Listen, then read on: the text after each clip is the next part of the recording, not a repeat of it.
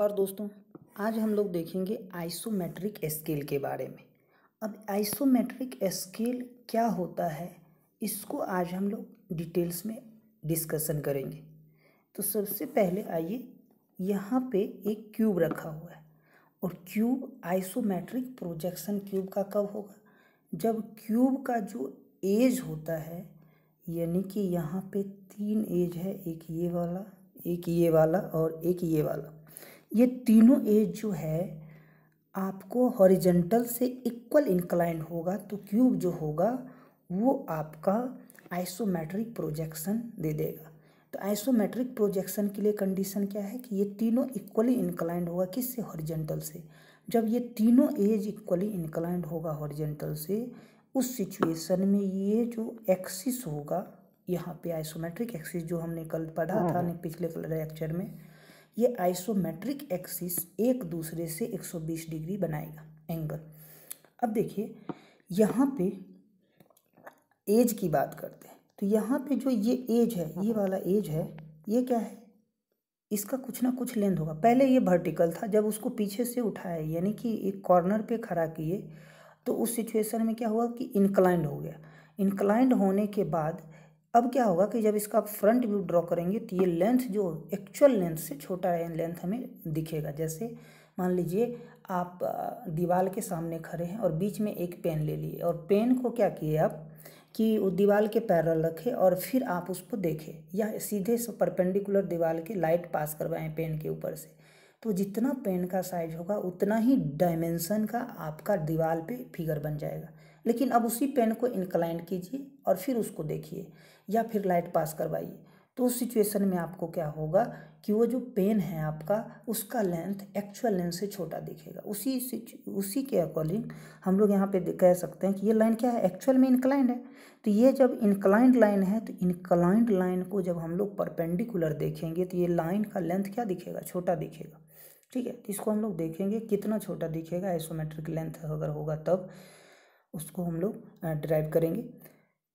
अब आप यहाँ पे आगे बढ़ते हैं और ये तीनों आपका एक्सिस हो गया। एक्सिस जो होगा, वो क्या होगा? इक्वली इंक्लाइंड होगा। अब इसको हम लोग लाइन डायग्राम से देखते हैं। तो ये अपना लाइन डायग्राम है। लाइन डायग्राम कभी भी आइसोमेट्रिक प्रोजेक्शन का ड्रॉ करेंगे तो ये आइसोमेट्रिक प्रोजेक्शन ये इक्वली इंक्लाइन होगा। यानी कि ये थर्टी डिग्री होगा, ये भी थर्टी डिग्री होगा।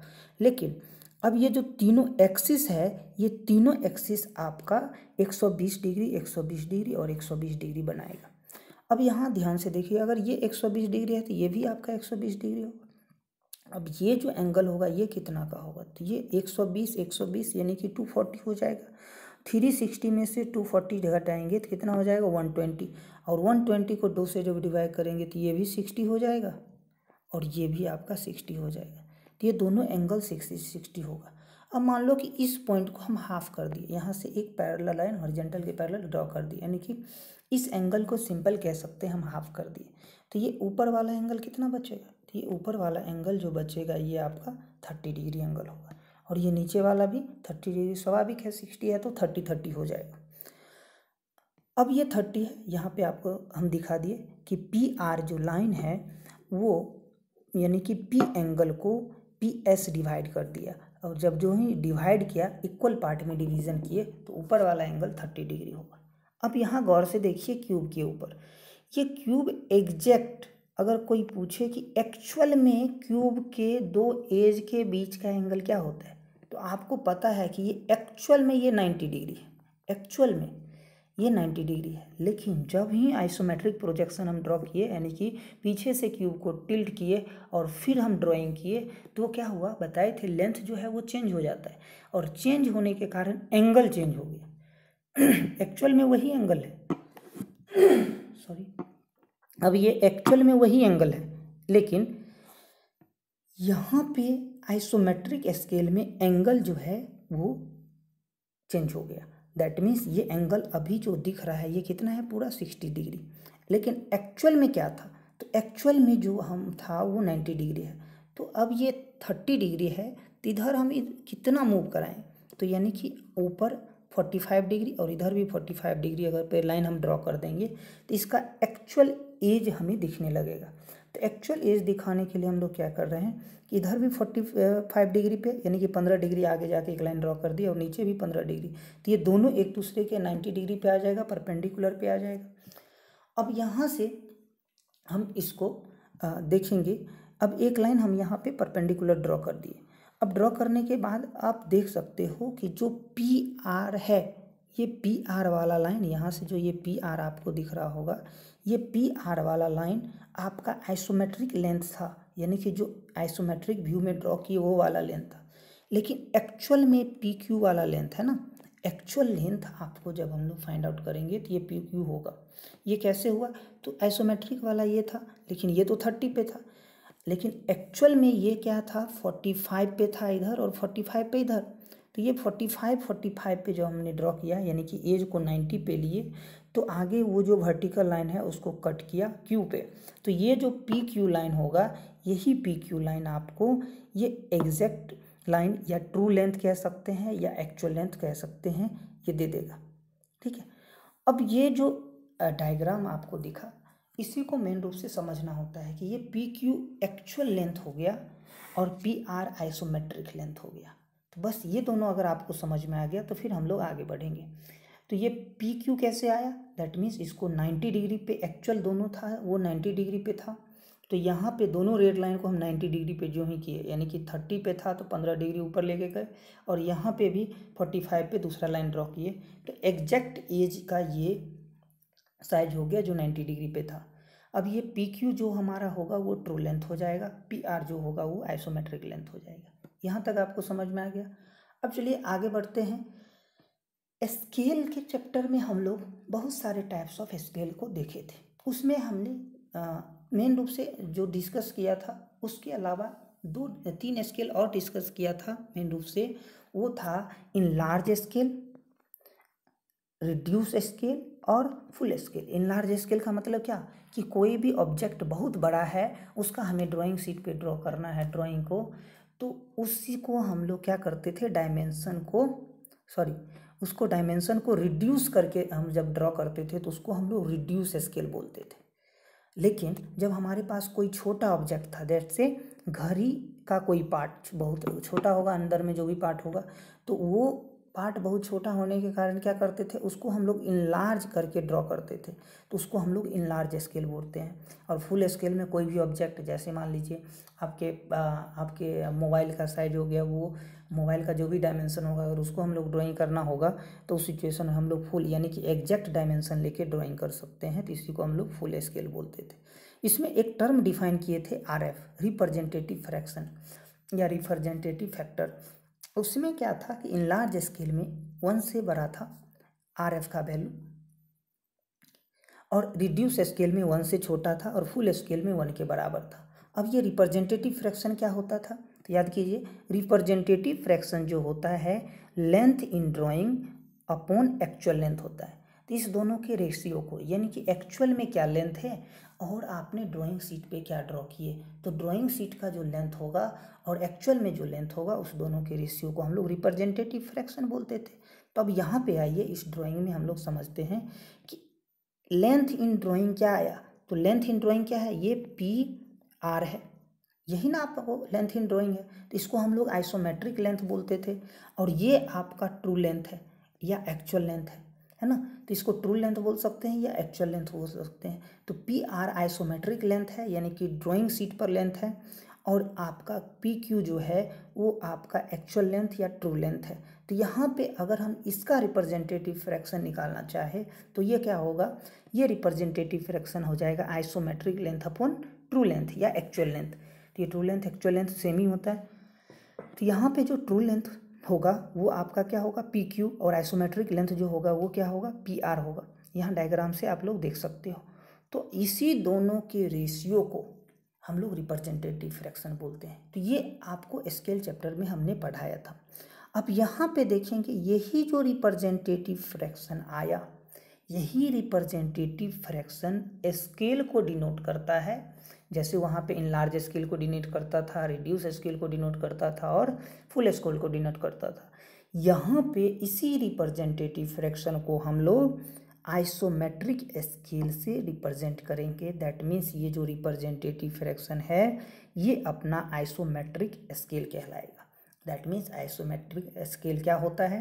तो isometric length upon actual length या isometric length upon true length इस दोनों के रेशियो को हम लोग आइसोमेट्रिक स्केल बोलते हैं। समझ में आ गया? तो ये आइसोमेट्रिक स्केल आपको जब भी डिफाइन करना होगा it is the ratio between isometric length to actual length या ट्रू लेंथ कह सकते हैं। अब आइए यहाँ पे आप डायग्राम को देखिए। अब यहाँ पे हम मेन फोकस करते हैं triangle P Q S and P R S पे। तो बस इतना पोर्शन हम काट के अलग से डायग्राम बनाते हैं और फिर आगे हम लोग देखेंगे अब देखिए, ये डायग्राम आपका हो गया। तो वो वाला पार्ट का डायग्राम यहाँ पे ड्रॉ किए। अब यहाँ पे कोई भी एक ट्रेंगल कंसीडर कीजिए। तो एक ट्रेंगल कोई भी हम कंसीडर कर लेते हैं, या पी क्यू एस या पी आर एस तो हम कोई एक ट्रेंगल कंसीडर करते हैं in triangle P R S में। अब पी आर एस में कोई भी ट्रेंगल यहाँ पे आपका पी आर एस दिख रहा है। ये पी है, ये आर है और ये एस है। और ये एंगल बना रहा है थर्टी डिग्री अब जब भी थर्टी डिग्री बना रहा होगा तो ये पी आर है और इसका जो है ये वाला बेस है तो यहाँ से जिससे एंगल सटा होता है वो कॉस थीटा होता है. सी फोर सटा हुआ है सी फोर कॉस थीटा यानी कि ये कॉस थीटा हो जाएगा किसका? पी आर का कॉस थीटा हो जाएगा. यानी कि पी आर का कंपोनेंट होगा कॉस थीटा ये हो जाएगा और जो दूर होगा वो साइन थीटा हो जाता है. तो यहाँ पे भी हम लोग पी एस देखेंगे, है ना? पी एस किसका कॉस्ट पी एस का वैल्यू अगर हमें फाइंड आउट करना होगा तो क्या हो जाएगा?